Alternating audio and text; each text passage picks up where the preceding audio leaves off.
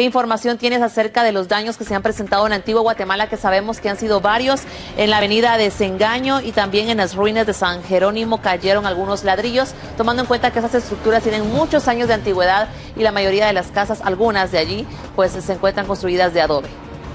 Precisamente, Claudia, como tú mencionabas, y ya escuchábamos a nuestro compañero Marvin García, quien se encuentra en esa región de nuestro país. Pues lamentable la situación. Recordemos que el pasado 14 de junio, cuando se daba un sismo de similar magnitud, de 6.6 grados en la escala de Richter, que afectó también eh, varios monumentos en el occidente del país. Recordemos que en el cementerio de Quetzaltenango se reporta pues daños en algunos eh, panteones, en algunas eh, tumbas de presidentes o mandatarios guatemaltecos que fueron dañadas, asimismo la catedral de eh, Quetzaltenango, que sufrió daños eh, eh, muy considerables en la cúpula principal de, esa, de ese templo religioso y que ahora ya las autoridades están evaluando la forma de cómo repararlo y hoy nuevamente otro sismo que viene a afectar el patrimonio cultural de nuestro país. Estamos hablando de que en este momento no se reportan víctimas mortales ni personas heridas, pero sí pues daños a estructuras considerables en nuestro país. Ya hablamos de...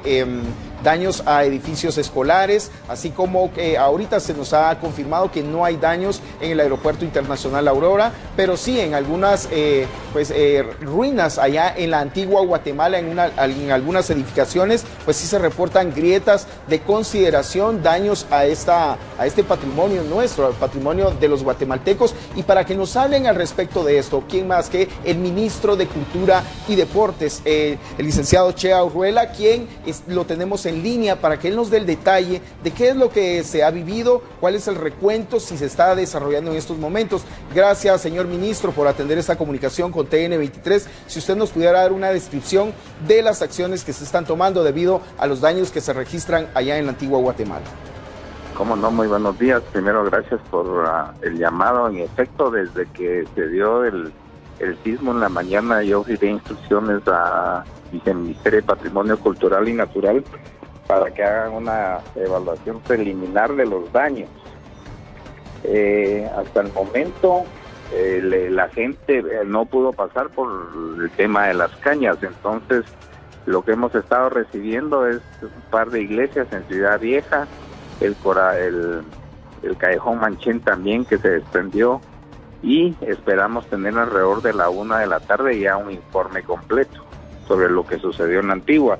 Ahora bien, este tipo de, sismos, eh, obviamente cada crisis de esta eh, no solo pone de manifiesto la vulnerabilidad del país ante los fenómenos naturales y la necesidad de resguardar la gente, pero también pone en evidencia la necesidad que tenemos de resguardar el patrimonio cultural. Ahora le tocó a la antigua, le tocó a Shela, a San Marcos, en el anterior, a Reus, y algo tenemos que hacer porque eh, hay que restaurarlo pronto y no tenemos recursos. Entonces, estamos esperando que el presidente tome una decisión al respecto para ver si hay un fondo de emergencia para este tipo de situaciones.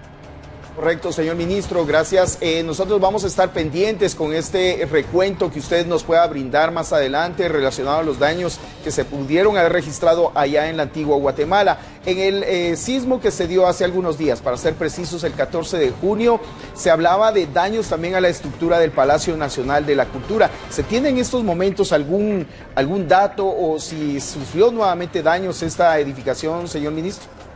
No, el día de hoy creo que no sufrió, pero realmente eh, está el equipo trabajando, ya tenemos incluso las fotos, eh, como le había comentado, la separación visualizada es de 10 a 12 milímetros, es decir, 1.2 centímetros.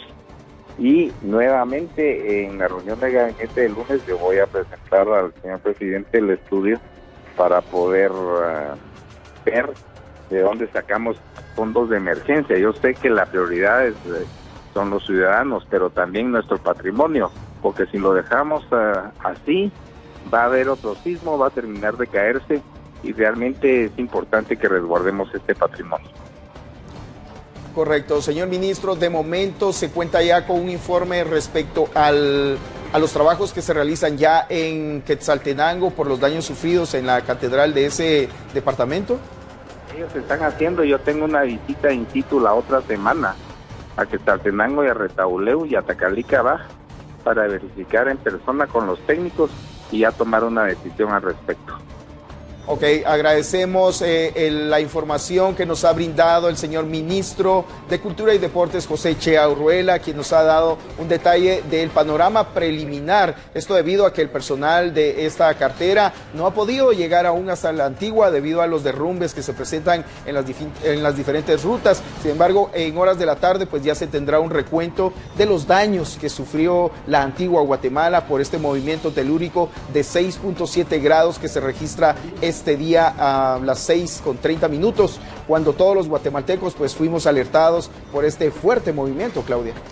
Así es, y como tú has indicado, está difícil el acceso a la ciudad de Antigua Guatemala porque varios usuarios han reportado en las redes sociales y a TN23 que hay varios deslizamientos de tierra sobre la carretera en la bajada a Las Cañas y precisamente esto hace más difícil el que las autoridades puedan llegar a Antigua Guatemala, pero más adelante estaremos comunicándonos con las autoridades y también con nuestro compañero corresponsal de esa localidad para que nos dé a conocer la información que se tiene acerca de los daños que hayan presentado varias viviendas y también edificaciones muy importantes para nuestro país patrimonio en Antigua Guatemala. Gracias Luis por la información que nos has presentado y por la entrevista al ministro de Cultura y Deportes, José Luis Chea Urruela. Por supuesto que habrá más detalles al volver de esta pausa, así que usted no pierda la sintonía, que enseguida volvemos.